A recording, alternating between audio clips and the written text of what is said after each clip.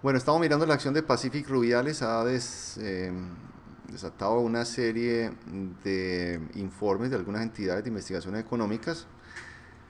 Esta acción es muy fácil entender qué es lo que está haciendo. Primero, máximos menores, después de un doble techo en el gráfico diario, una negación importante del último movimiento. Es una acción que ha pasado de un dólar 50 a más de 15 dólares, 16 son sus máximos. En este que es el gráfico mensual, el semanal está empezando a encontrar máximos y mínimos relativamente iguales. Yo tendría mucho cuidado de, empezar a montar una posición, aunque creo que podría buscar los máximos anteriores que están cerca de los 16 dólares, estando en 14 hoy, pero esperaría primero un, un mínimo mayor en diaria antes de montarme. Lleva tres días subiendo, yo tendría cautela antes de montarme en Pacific Rubiales. Ojo que estoy analizando la acción en la bolsa de Toronto. Para el videoblog de Redditum, yo soy Juan Villegas.